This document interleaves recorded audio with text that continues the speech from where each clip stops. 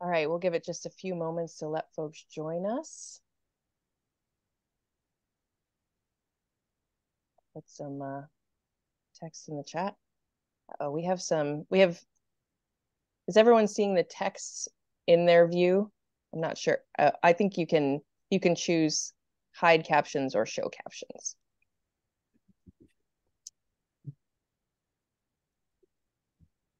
All right, let's go ahead and get started. Good evening and welcome to tonight's live online author event with Greenlight Bookstore. I'm Jessica, I'm the owner of Greenlight, and we are thrilled to host tonight's event celebrating the release of the Best American Poetry 2023.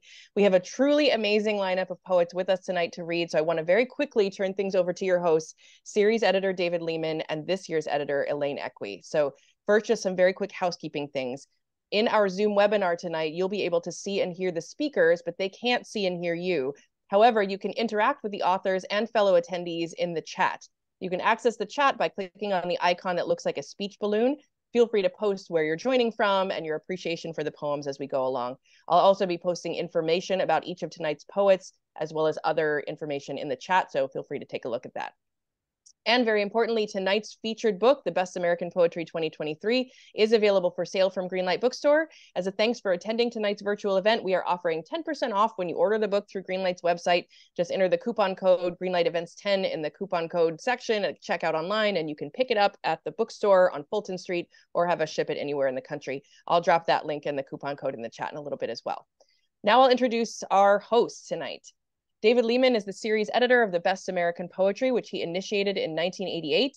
He's also the editor of the Oxford Book of American Poetry. His books of poetry include The Morning Line, New and Selected Poems, When a Woman Loves a Man, and The Daily Mirror. And if I can add a personal note, I was in David Lehman's class as an undergraduate at NYU about 25 years ago, and I've never forgotten it. So it's great to be back in the room with him and all these amazing poets tonight.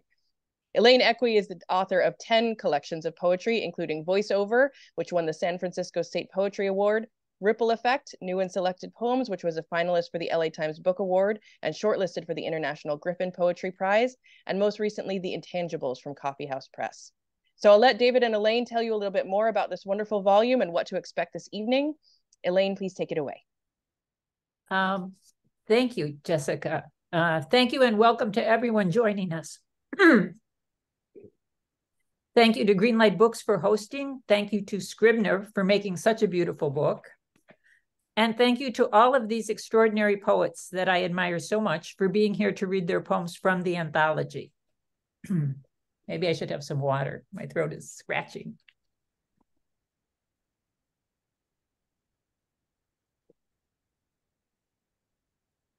Okay. Before we begin, I just want to say I'm sure everyone is heartbroken over what's going on in the world right now. It is hard to be in a celebratory mood. But if poetry can contribute anything at a moment like this, hopefully it can help remind us, even in some small way, of our sense of humanity. So I've been a fan of the Best American series since it began in 1988 with a volume guest edited by John Ashbery. I'm pretty sure that I was at that launch, having just moved from Chicago to New York, and it made poetry seem very glamorous and desirable. As someone who teaches, I've used Best American in my writing classes many times to spark discussions and as a source of prompts. It's a great resource. I've found new poets to read in the pages of Best American. I've found new journals to submit my poems to. And on a few occasions, I was lucky enough to have a poem of mine included. I will confess that I often secretly wished I could guest edit one. So thank you, David Lehman, for making my dream come true. It was a tremendous honor and a great pleasure to work with you. We had so much fun putting this book together. In my intro, I say that reading and writing poetry is for me a spiritual practice. I know this might be a turnoff for some, as it can get mixed up with religion, but I don't mean it that way. For me, spirit is something broader than that, something that poetry puts me in touch with that is much bigger than myself, Poetry touches on the intangible, the unsayable qualities of everyday life that must be said. When choosing poems for this anthology, I tried not to look for specific things, not to favor certain styles or subject matter. I took an aphorism by the great Joe Brainard for my guide. He says, Poetry is that certain something we so often find missing. It sounds simple, but it's also profound. I can honestly say that every poem in this collection gave me that sense of discovery and revelation. Uh, I'm going to stop now because we have lots of poets to get to and turn it over to David Lehman. I think he has some things to tell us too. David. I just wanted to um, welcome all, all of you um, and our audience in general, and how wonderful it is to, to see the faces of the authors of the poems that Elaine chose for the 2023 volume of the Best American Poetry. I think she did a, magnificent job.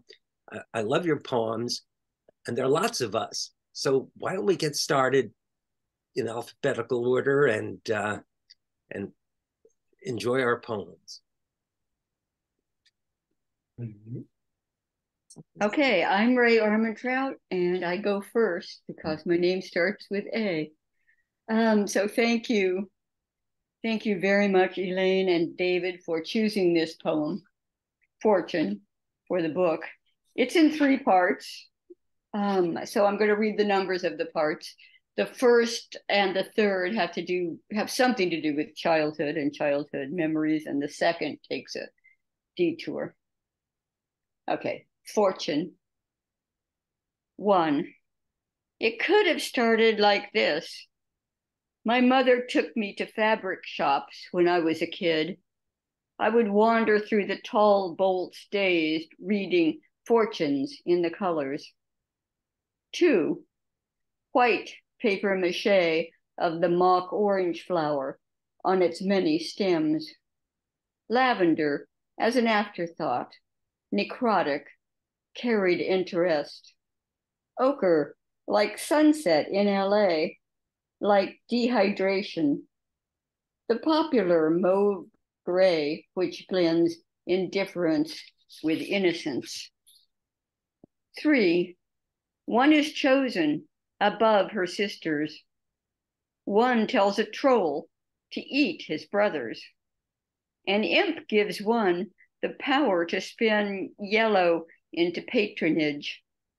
One frills a frill again and again, no in order, no as if.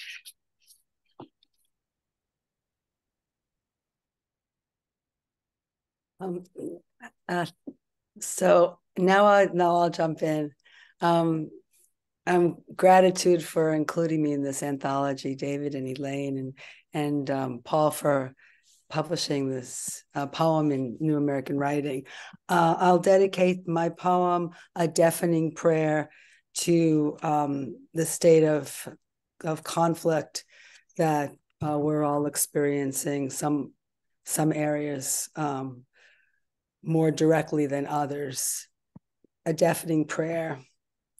Ion, a deafening prayer ignites ionized air, night's holy grail, night's only prayer. An autonomous prayer careens into autobardo, speeds through HVO lanes flowing in the six directions. Chanting a drone prayer, a rune prayer, Rumi's prayer, to co-pray a cocoon prayer in woodlands with rings, silent owl wings, and invertebrate things, with ancient stone forces and surfaces and winding roads to root prayer.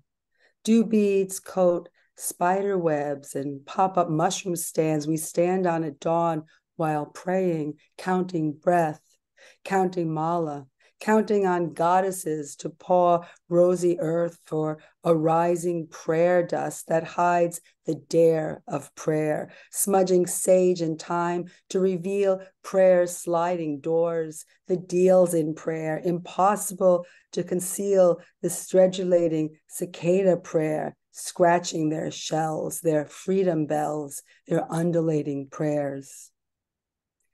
The murmuration of prayer flight crossing the empty, responsive prayer night.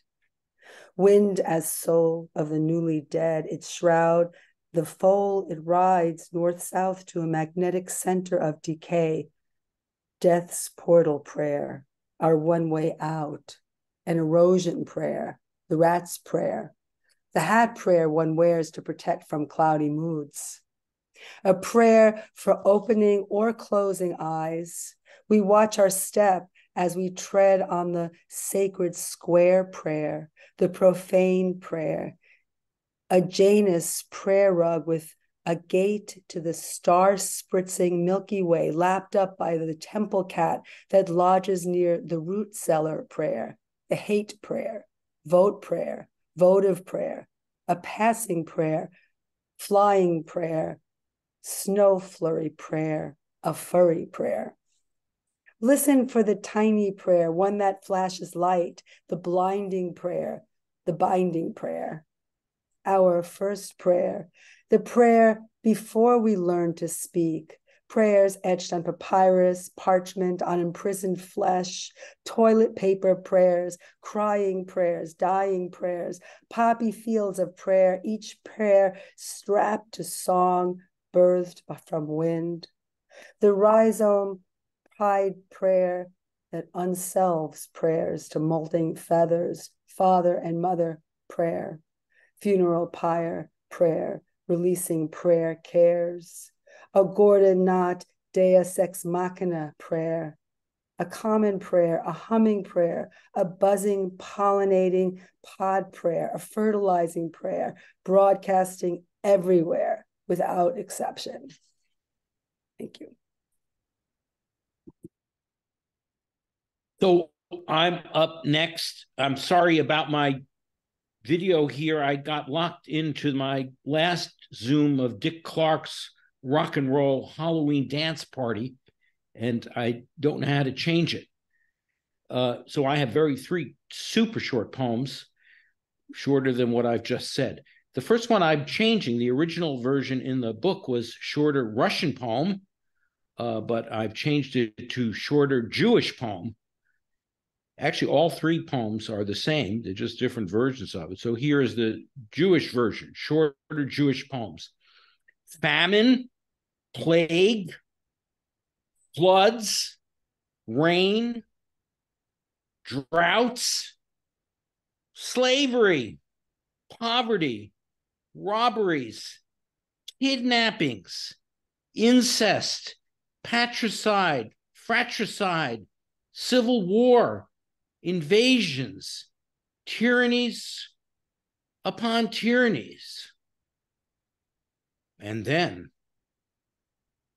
the dark times came.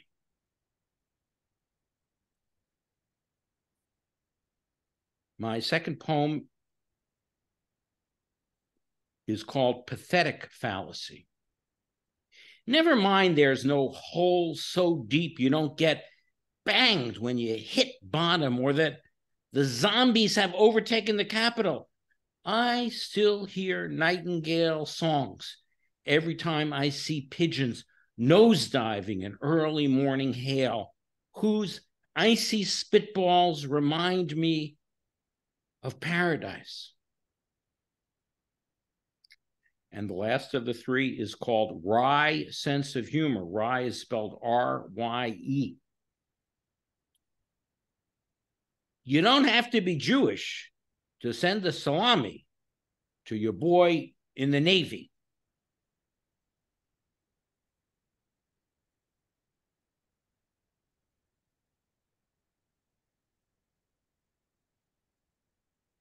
Oh, hi. I'm Lee Ann Brown. That was great, Charles. I'm going to read a poem called That's American. It was published in the Brooklyn Rail. So thanks to Anselm and thanks for Elaine for choosing the poem.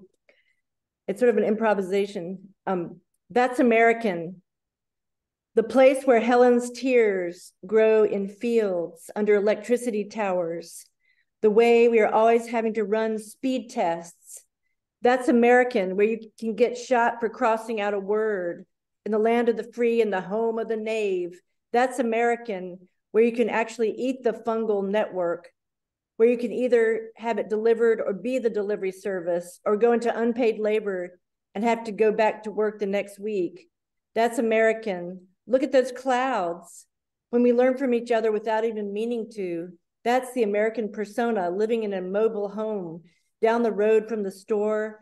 There's a wild cat living in the grass. That's American and invasive at the same time that crawls on hands and knees through the glittering piles of glitter that will never go away, even in a million years.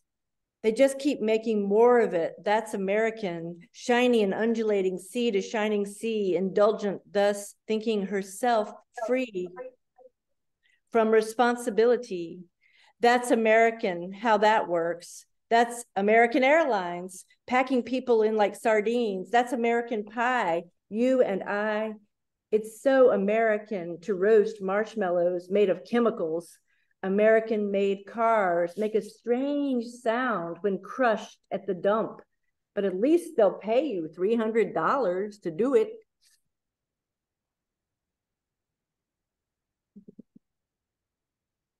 That's great. So I guess I'm next.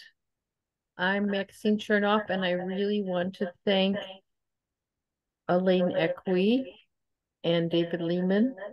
And I also want to thank Bradford Morrow for including me in Web Conjunctions from which the poem came. Um, could I ask you to turn off your sound or something? Because we're echoing here. Thank you. Um, so my poem is small and um, about birds. And let me find it. Okay.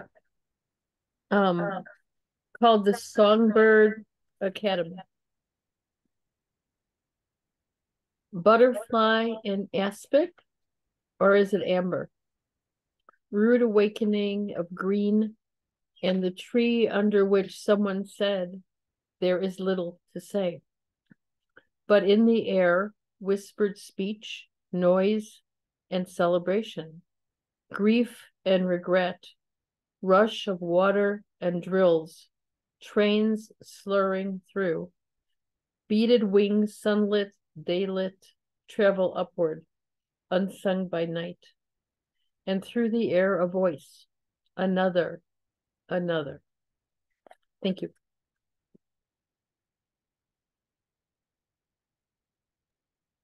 Thank you, Maxine. Thank you. Um, my name is Boris Dralyuk. Uh, I want to thank Elaine and David and Jackson Lears of Raritan for accepting this poem. Uh, it's called Days of the Races, and the epigraph is spoken by Groucho in uh, A Day at the Races. Either he's dead or my watch has stopped. Away they go with their outlandish names, saddled with human baggage, desperate wagers enough to make a thoroughbred go lame, be it a strapping colt or spry old stager. Away they go, with Monday in the lead, and Tuesday, Wednesday, Thursday gaining speed. Friday and Saturday, poor things, are off the bridle, while Sunday, bless its heart, is simply idle. Some like to be there, tremble at the crack of every whip, eat dust, bathe and lather, and feel the press of flesh. Me, I would rather keep my distance, make my bets off track, each week I pony up a little dough, although I seldom win or place or even show. Thank you.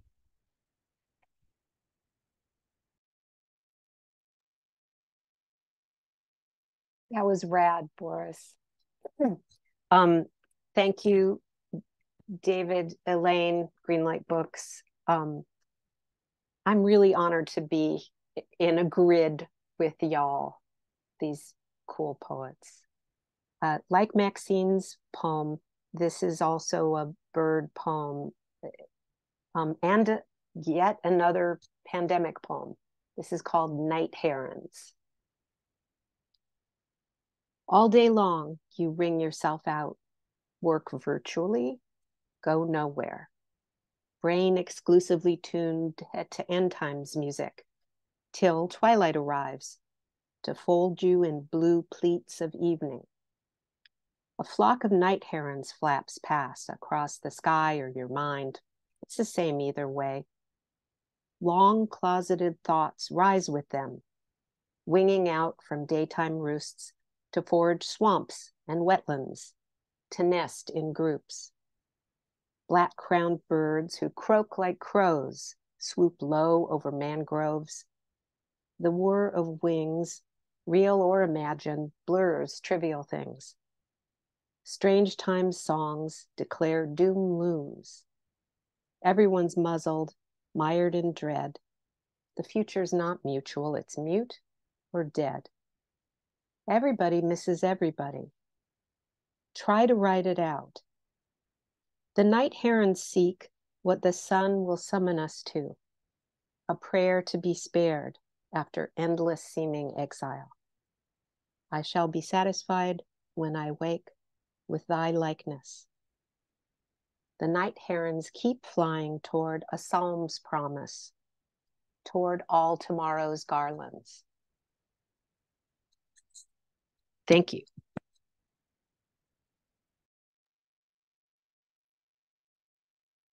Hi, I'm Paul Hoover, and thanks Elaine and uh, David for uh, including me in this wonderful anthology. I'm having a little trouble reading uh, because it's eight point type, so I'm going to have to just lean very close. It's called Admonitions Afternoons. Oh, the mattress fallen upon the freeway. I, I, I need better light, I'm sorry.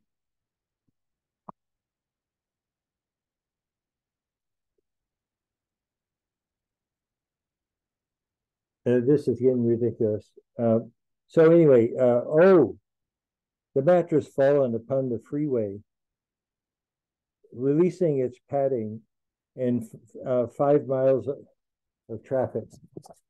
Uh, I'm sorry. I have to go find some light.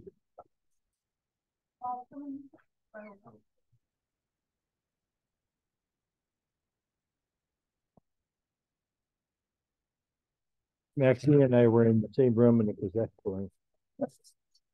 So uh, I can read now. Oh, the mattress fallen upon the freeway, releasing its padding and five miles of traffic stalled as if before a shrine. Oh, the stock option and the shitting dog, the milk spilling across the kitchen floor, and oh, that troublesome meeting at school. Oh, the skateboarder who sings in the choir with spider tattoos that crawl up his neck in excelsis Deo. Oh, the march of final things toward the leaning cathedral, the blue abyss in the shape of a wine glass, and oh, the flower I found. Oh, the ambient sound of crying and laughter, kindness misunderstood as scorn, and love that forgives all woe. Oh, houses that are bruises, where the shadow lingers of the one who lived there, and that box of photos under the bed in which he was held dear. Oh, the love that was missing and that he lost again and found again and finally drowned in consternation. Oh, the necessary step in the wrong direction. Oh, well, and oh, dear. And don't worry, I love you. Everything's all right. Oh, the word ah exclaimed in the woods, and leaves beating against a branch as if to fly. Oh, no. Oh, the mystery number zero snuggling up to infinity with the others of its kind.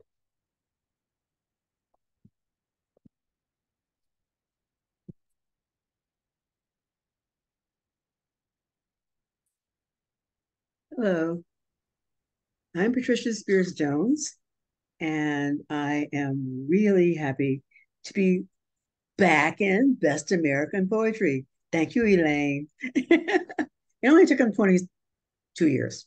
Okay, so this is a poem that's dedicated to the late uh, critic, uh, musician, uh, bon vivant, and uh, all things um, Black cultural, Greg Tate, uh, who, like me, loved James Brown. And this is written as I've been writing a series called The Devil's Wife. And here she is. She explains broken 40 watt, 45s.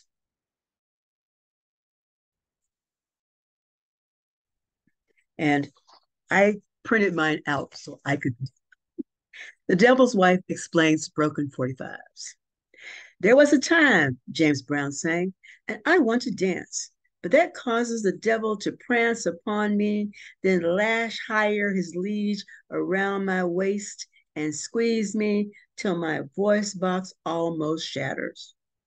You're a doll, he says, as he smashes our turntable, laughing at the clatter ancient 45 RPMs make as they break treasures from a lost last century when sweet soul music elevated our scissoring speech.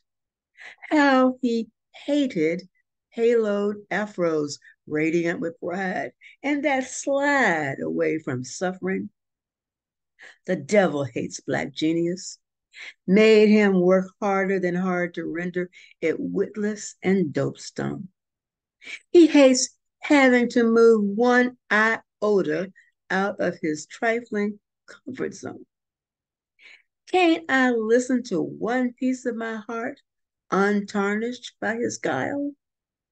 Child, soul music is now in limbo, and me bruised again, cleaning up those broken 45s. But somewhere on the other side of this sad kingdom, another woman augurs the audio, and James Brown sings, There Was a Time.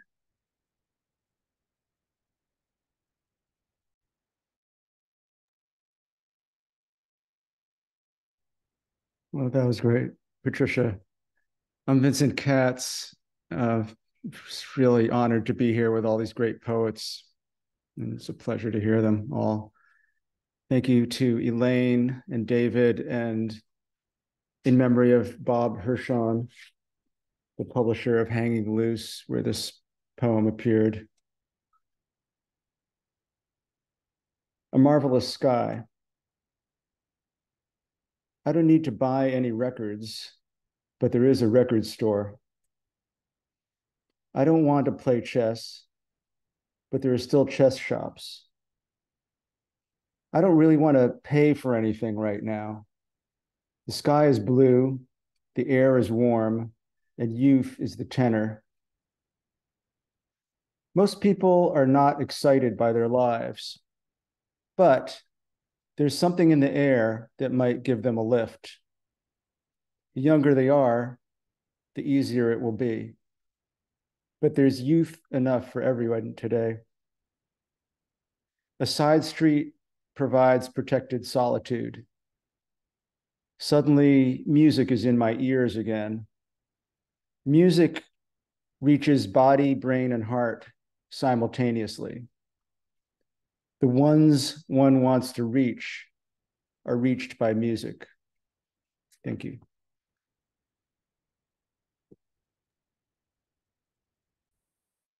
Hi. Thank you. Thank you, Vincent. Do you hear me? Um, my name is Miho Kinnas. I have been living in Hilton Head Island, South Carolina for the past nine years. I'm very happy to be here. I'll read my poem. It's called Three Shrimp Boats on the Horizon. Moon, white seagulls, kites, cirrus, horizon, air, water, wishes. Turn, shades, depth, tones, mirrors, wait, listen, distance, whisper. Prussian blues, strings, cries, lost crystal. Rock, paper, scissors. Thank you.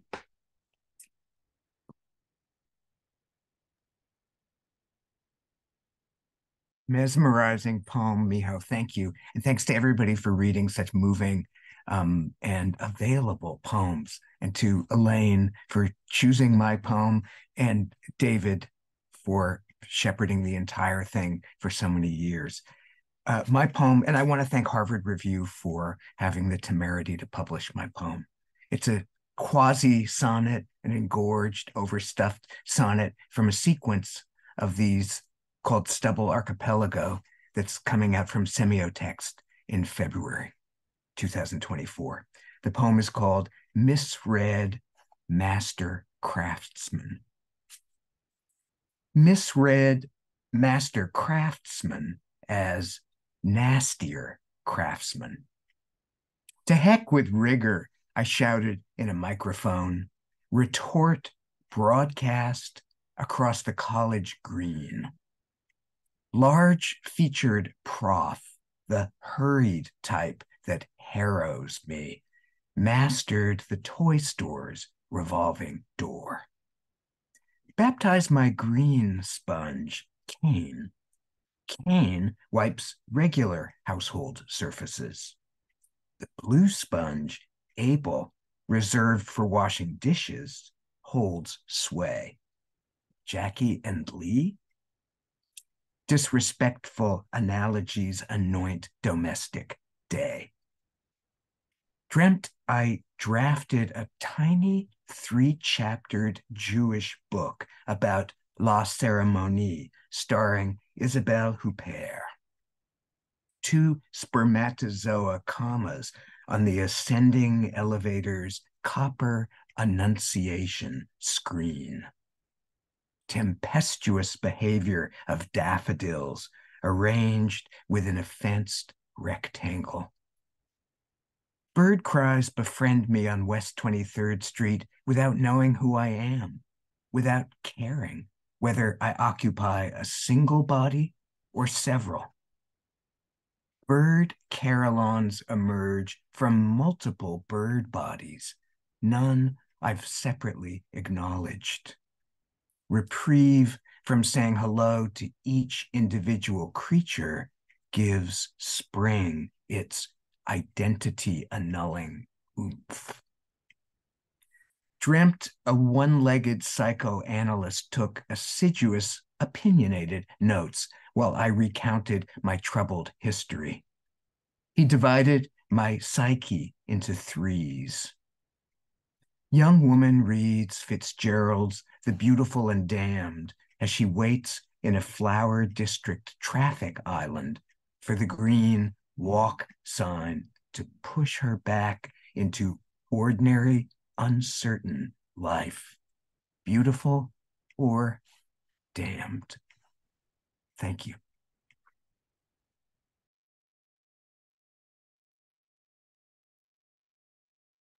Thank you, Wayne. And thank you, David and Elaine, for including me as well. And I'm honored and grateful to be a part of this group tonight. And and I hope you can hear me. Um, yeah. As for my poem, true story. It's called I Meant To. I meant to put those 63 names and email addresses in the BCC blind copy space, not the CC copy space. I meant to send it to him, not her.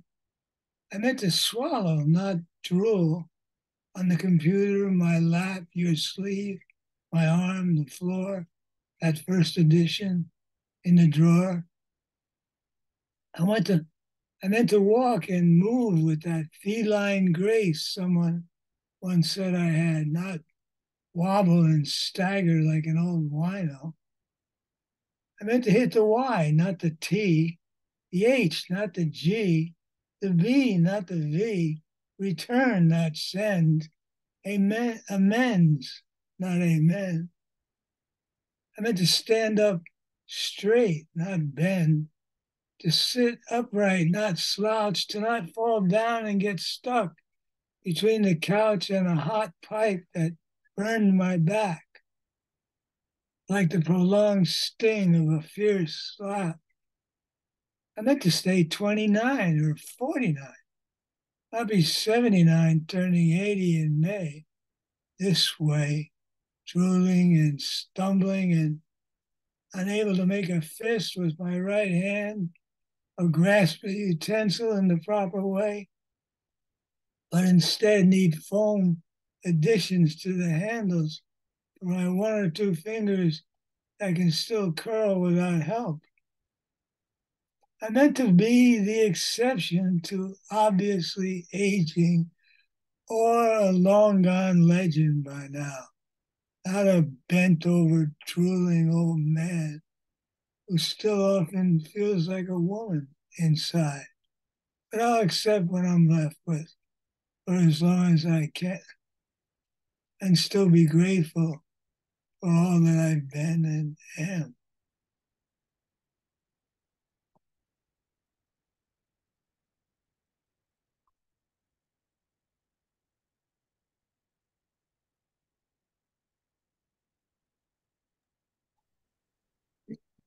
Whatever else it is, poetry is a celebration of being, memory, dream, hope, and desire. And the poems we've been hearing and will hear this evening are, are a testament to that uh, sublime function of poetry. I thank everyone who contributed their wonderful poems to this anthology. Elaine Equi uh, chose my poem, Traces. I know where I was on this day in 1967 because I wrote a poem that day and made eight slash eight slash 67 its tale in the manner of Frank O'Hara, as if poetry were a diary and you could put anything in a poem, like living alone at age 19, reading The Great Gatsby, memorizing the last pages. That's my Middle West. My job to deliver the mail that summer in the tenements east of Broadway, where a woman in a nightgown tipped me, and the pale brick buildings on Cabrini Boulevard beside the Hudson. I woke up to the sound of the Beatles' Strawberry Fields Forever and ate hot dogs with mustard, sauerkraut, and a half sour pickle at the deli next to the Alpine Movie House. Though I put none of these things in traces, the poem I wrote on August 8, 1967, which ended with, quote, the old plains of America's darkness. And thank you. Hi, I'm I'm Katha Pollitt, and I want to thank Elaine and David and um, the bookstore for this wonderful occasion for including my poem in this terrific volume that I'll be reading many, many times. And it's so great to hear so many people read. Um, my poem is called Brown Furniture. I wrote it because my best friend was being urged by another friend that she should throw out all her old furniture and get new furniture because old is bad. So this is my poem, Brown Furniture. Don't throw out that old chair. Someone said yes there, listened to Brahms while it rained, fell asleep over Das Kapital, told a small child about King Alfred and the cakes. Don't be fooled by the dining table discreetly silent under its green cloth. Momentous events occurred there, all of which it remembers perfectly. A terrible silence was broken over cake, and three aunts sang a song about Romania. Not your aunts, not important. They were there. Your living room still making history. All night the sofa gossips with the Turkish carpet, which boasts to the glass fronted bookcase about the fantastic voyages of its youth. These things remember so that we can forget. Who will love the old, if not the old? Thank you.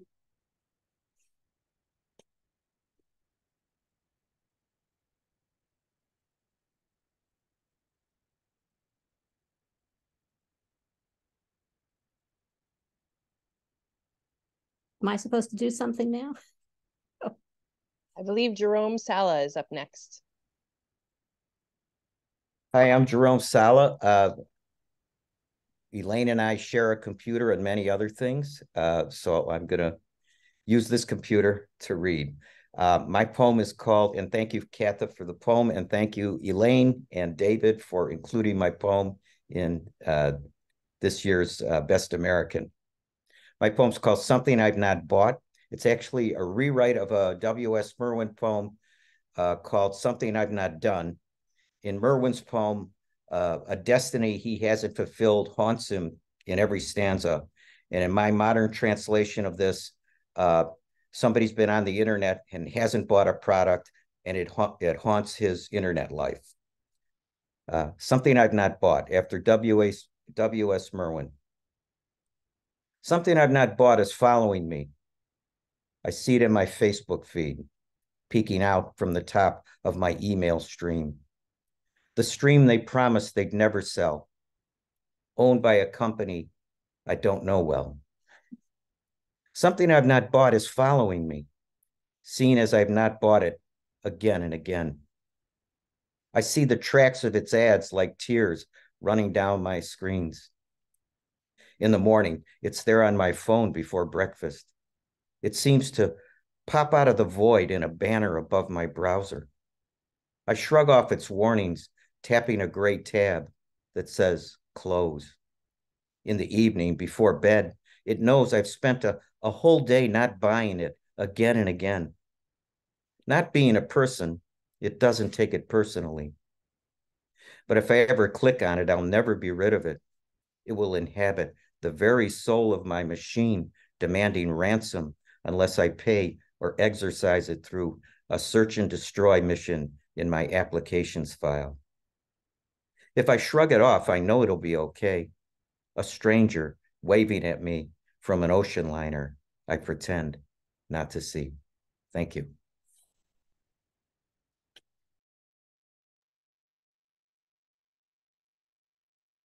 Yeah, can you hear me okay? Can you hear me? Okay, good.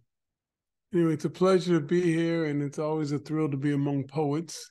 And I thank David Lehman for having done this for so many years, and Elaine Equi for for mysteriously choosing my poem. So this is a this is a I called this I've written a number of these. There I call them blues villanelles, and this is called all the time blues villanelle. Hard to watch somebody lose their mind. Maybe everybody should just go get stoned. My father said it happens all the time. I knew a woman lost her soul to wine, but who doesn't live with their life on loan? Shame to watch somebody lose their mind. Don't you gotta wonder when people say they're fine, given what we're given, I guess they're acting grown. I think I used to say that all the time. When my parents died, I coined a little shrine and thought about all the stuff they used to own. Felt like I was going to lose my mind used to have a friend who smiled all the time. Then he started saying he could hear the devil moan. Hate to see a brother lose his goddamn mind. It doesn't matter how you pull, the hours break the line. Mirror, mirror on the wall, how come nobody's home? Broke my soul for real when my mother lost her mind. Tried to keep my head right, but sanity's a climb. Been working on the straight face. I guess my cover's blown. My father tried to tell me all the time. Had one last question, baby, but maybe never mind. After a while, even springtime starts to drone. Hard to see somebody lose their mind. My pop said, Boy, it happens all the time. Thank you.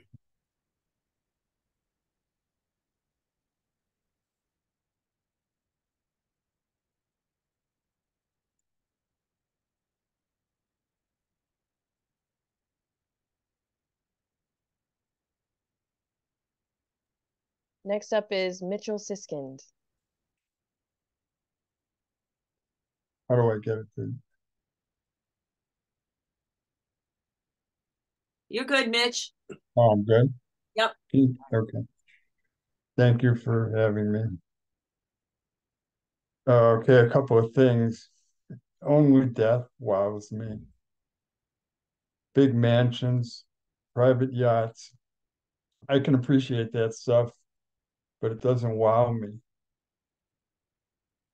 Not even birth, because at first nothing is there, then something is there. But once it's there, it's like it's always been there, which doesn't wow me. With death, however, something is there and then it isn't. But in a weird way, it's still there. And maybe even more than before, like when you find the dead person's false teeth lying around. You know what else? Steve Jobs' last words were wow. Oh, wow. Because he was so wowed by death, which I can completely understand.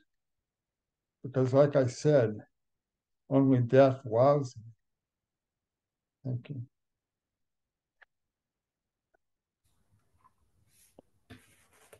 Wow. Thank you, Mitch. I think it's my turn. I'm Jack Skelley. Uh, thank you, uh, Elaine and David and everyone at BAP 2023, and for and to Court Green who published this poem, Green Goddess. Who made the salad? Whose tangy vinegar made me wince? Who played pouty Venus to my impudent Caesar? Who taught me to renounce meat? Who flowed forth lubricants? Who performed dark sacraments? Whose tart shrub tangled my tongue? Who with unctuous poses oiled me? Who received my verdant sacrifice? Who, as I reclined panting, poured herself into her dressing? Who lured me to the garden and dragged me into deep greens? Who instructed me on the use of the proper fork? Who inserted an oblong cucumber? Who shredded slender carrot sticks? Whose burning bush consumed the sky god's timbers, shaking his heavens to the rafters? Who roused me in damp chambers, dousing reasonable fires to consume knowledge raw? Who, at the crack of the vernal equinox, broke seasoned bread into bite sized croutons? Who parted beet red vestments? Who swelled my painted cave beast, proud and pregnant? Who put me in the red pepper pink? Whose celestial power what I enviously drink? Who succored me when I lay pallid? Or who made the salad? Thank you.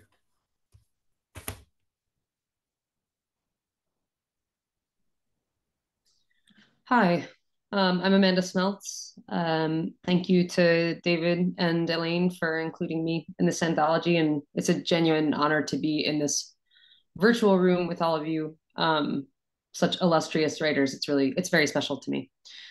Um, so this poem is called "These Squatting Girls in Black Spandex." Um, it starts from an uncomfortable observation I made in a yoga class and spirals out into um, religious concerns from there. So um, yeah, these squatting girls in black spandex. These squatting girls in black spandex are trying to turn their gaze inward. When I crack the Bhagavad Gita, I can't find downward dog. No downward dog, or half lift, no crow, no humble warrior. Next pew over, an old woman files her nails. My mother fumes. Easter at the megachurch. My favorite silk banner is hung. It's shimmery pink with a purple silhouette of a dying man. I strap on my leather bra and boots, headed off to Burning Man. For 40 days, I writhe and flash and drape myself on scaffolding. A pastor at his dinner table expounded on gender and sacraments. A woman can no more consecrate than can this block of cheese. Thereafter, I did no more consecrating. A vine grew out of my forehead. Suckers and buds shot up out of my terrible hands and feet. A plastic sack bulges with Japanese beetles, each hooked on to the other. Shimmering jade and blue, but they don't know they're going to die. In my house, we keep the old gods shit talk, candor, and clarity. Now fetch me that branched, tangled ram and think about what you've done. Thank you.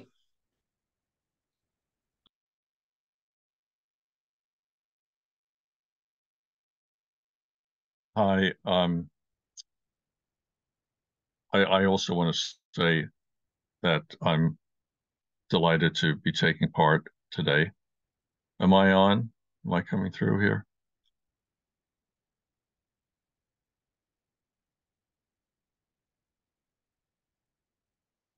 Yes. Yes. Okay. Um, and uh, thank you to to David and Elaine for doing a great job. I also love those introductions and read them every year. And this year, I think, was probably the all-time best two intros. So that was fun. So uh, today is All Souls Day, and I realize that this is a, an appropriate poem for All Souls uh, called Great Sizzle. Pour me another one, please. I raked all the leaves in the rain, and now I'm sore. My primal fear involves living in a dark forest made up of half sentences and embryonic cabbages. I was frolicking with my fairy godmother the other night when we suddenly were seized by a chronic inflammation of unbelief. The old postage stamps are licked, the eggs are beaten. I look for redemption and comfort food and the second coming of Elvis. A line was forming outside the darkened auditorium last night, just as the faithful began to chant, The worst is yet to come. I focus on the flowers in the vase in the living room, stinking up the house, knowing sooner or later our source network will expose our files. There is no way to get your secret back from the secret stealer. The soul is mysterious, they tell me. Put it in front of a camera and it explodes. Thanks. Great. Outstanding. Uh, th thank you all so much. Uh, beauty can be succinct, and brevity is the soul not only of, of wit, but of of great passion and intellect too. and thank you, Jessica, for remembering uh, great poems at NYU. Uh, was that 20 years ago? May possibly 25, but quite a few. Thank you, David, and thank you, Elaine, and thank you to all of these incredible poets for your words. Um, we will have the recording of this reading up on YouTube within the next couple of days if you'd like to revisit it. And of course, you can always buy the book and read them again and again. Thank you. Thank you. Thank you. Thank you. Great to see everybody. Yeah, it was Thank wonderful. You. all were wonderful. Yeah, y'all great good. reading. Thank you, Thank everyone. you. That, that was the Uh, best poetry. So nice. Yeah, such a pleasure, a real pleasure. It was. Thank you again. Every Thank you. Elaine, and thank you, all for a David. drink. Thank you. This was great. Thank you. Thank you.